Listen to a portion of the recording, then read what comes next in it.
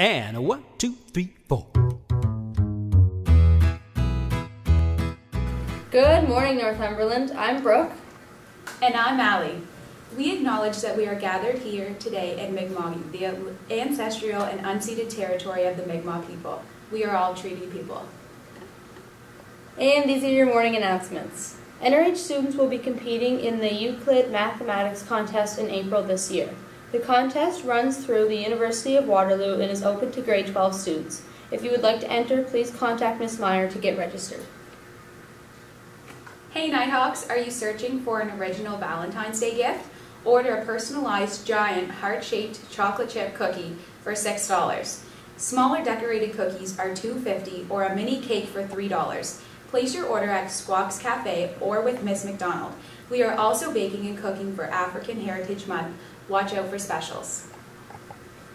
All students enrolled in Miss Atkinson's PE 12 class are asked to come to class prepared for both outdoor and indoor activity on Wednesday, February 10th. That means you will need warm clothes for the snow as well as dry sneakers and phys ed clothes for the gym. See you Wednesday. JV girls basketball team defeated CEC with a score of 55 to 41 for their first win of the season. Their next game is Wednesday against NNEC here at NRHS. Good luck, girls. Happy African Heritage Month, everyone. Uh, my name is Danelda Rhodes. I'm a grade 9 English teacher at Northumberland Regional High School. And today I'm here to talk to you about my start in athletics and, and how it all began. Uh, I just want to take a moment to thank Miss Borden uh, for asking me to talk about these experiences and also talk about my father who was very instrumental in, in helping me with that athletic background as well as my academic. My father passed away in April of 2020. It's been less than a year now since he's been gone and it's really nice that Mrs. Borden, that Miss Borden has asked me to kind of speak about my dad and, and his accomplishments. I think that if he could be here, he'd be extremely happy and gracious for even being considered. If you asked me growing up who my hero was, I probably would have said one of two people, Michael Jordan. But I always had a second one there as well, and that second person was always my dad. In his prime, my dad was a superior athlete. He accomplished every single little thing that he put his mind to. He excelled and participated in sports such as basketball, track and field, hockey, fastball. One of my favorite stories about my dad is when he was in the eighth grade as a junior boy, um, going to New Glasgow Junior High School. During that time, he became not only a provincial champion in the triple jump, but he also set a record which stood the time of total of 20 years. So he set that record in 1979, and I was so very lucky that in 1999, you know, when I was myself at New Glasgow Junior High School. Um, I was participating in the provincial track and field meet, and just across the way from where I was um, was a triple jump pit. I was doing the long jump at the time, and I watched the player, the athlete, I should say, for that matter. His name was Sam Searle. I remember watching him do the winning jump, and his jump cleared my father. So back in 1979, my father set a record for 20 years in the province as the best triple jumper for his age for 11 meters and 56 centimeters. Huge accomplishment. In the fall of 2019, my father, along with the rest of his teammates with the Monroe Juniors 1985 fastball team, were inducted into the Pictou County um, Heritage Hall of Fame uh, for their contribution to, to fastball. During that time, they had won the provincial championship and then moved on to the national level and ended up placing fifth place in the country. When inducted, um, they did say that my father, um, so when they gave my aunt the certificate for my father, they ended up saying that he was also known as being the fastest man in the world because of how fast he would round those bases. Throughout my life, I've had a lot of coaches, and all of them have been instrumental in growth for me in terms of becoming a better person, a better athlete, and all of those things. But my father, he had this thing about growth, and he always felt that growth was never achieved through simply just doing the same things over and over again. we have to be able to challenge ourselves. Which brings me to a story. I can remember us walking to the New Glasgow High School, and we always went there to shoot around, shoot hoops. All of a sudden, he sees an older kid walking by, and at this time, you know, I'm in grade six, so it's, you know, I'm pretty young. But he sees this older kid walk by, and, and this kid was in grade nine. And it's a boy, and he calls him over along with the other people that he's with, and he asks him to play me. And I remember saying to my dad, Dad, I can't do this. This guy's way too older, and he's a boy.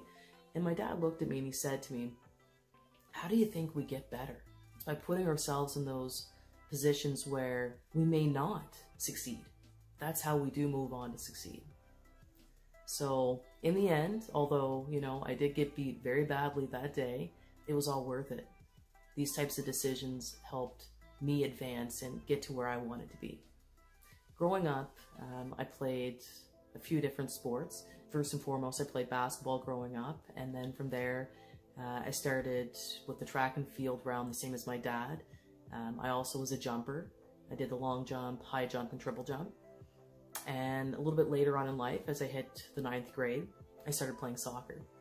During my lifetime, I've been blessed to win a few championships. Um, with basketball, um, I think that goes back to elementary, mini girls basketball, provincial championship. Um, with soccer, um, we won a high school championship at New Glasgow. And then I also went on to university to play at Cape Breton University and we won three Atlantic University Sport Championships, also a provincial championship with the Halifax Athens team. And we moved on from there to, to win the bronze medal in nationals. In track and field, I did all of the jumping competitions. I did high jump, long jump, and triple jump.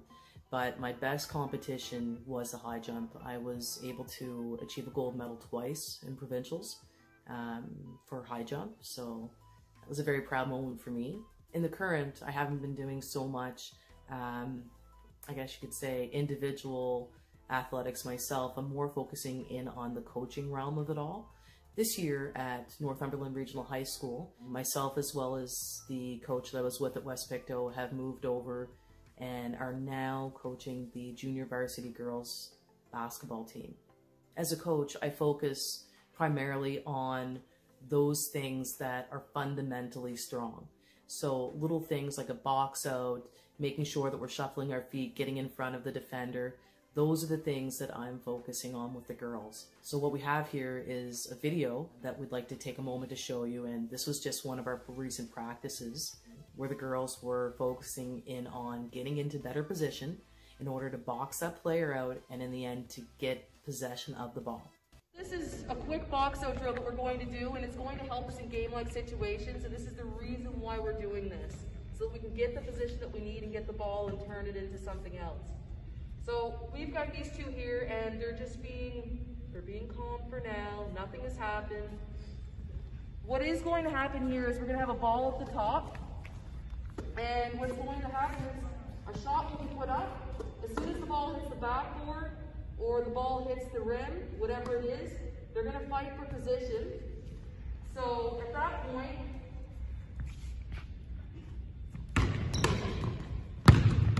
so they're going to keep doing it until one of them gets the ball without it bouncing. All right, so let's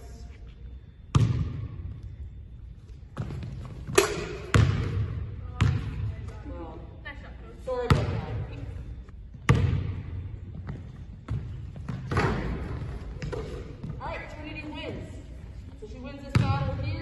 Trinity stays, takes on the next person.